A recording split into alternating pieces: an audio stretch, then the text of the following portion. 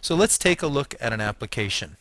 In the table that I have on the left, I have the years 1980 through 1998 and the corresponding population in thousands for Florida residents. So I have 1980, there was 9746,000 Florida residents. All the way up to 1998, there was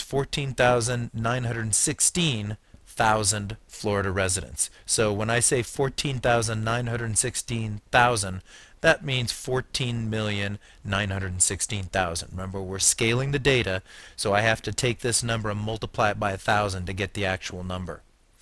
You'll see on the right-hand side that I've graphed those points, and I found the best fit line for that is y equals 285.27x plus 9,875.17.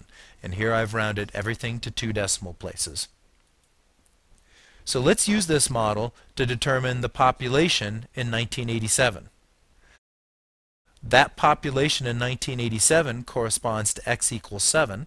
So if I go ahead and I substitute that into my formula, I get 285.269 times 7 plus 985.170.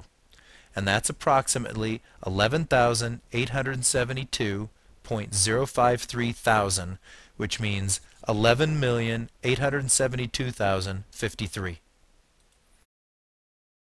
Use the model to determine the population in 2000.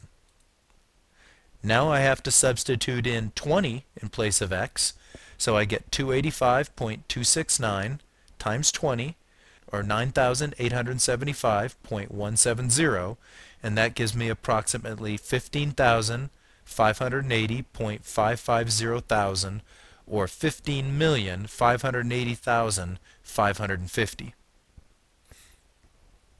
For this data, the correlation coefficient is equal to 0.99836, meaning that this fit is very good because that number is very close to 1.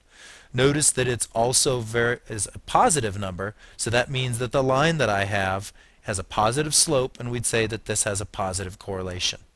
And that means that as the inputs increase, the outputs are also increasing.